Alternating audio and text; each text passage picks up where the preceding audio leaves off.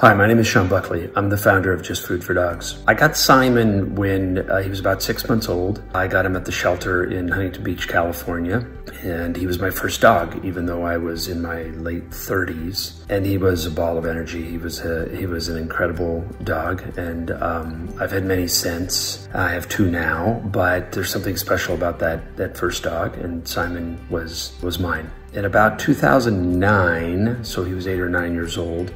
I discovered what was really allowed to be in pet food. And I was disgusted by that, and I was concerned and alarmed.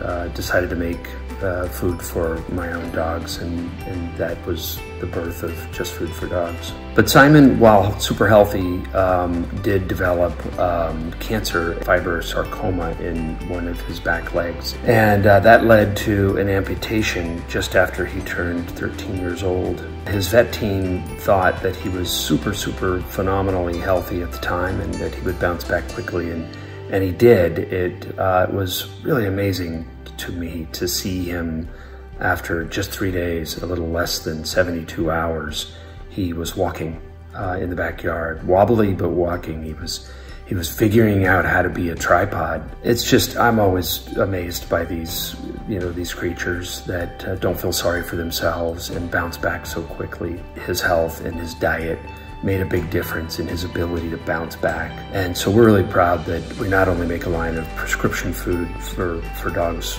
you know, that have special situations or, or diseases like cancer, but also just the daily diets that help them get through the day and, and be really uh, healthy for the for the long term. Simon lived to be almost 16 years old, and, and so for a black lab, we were pretty happy with that.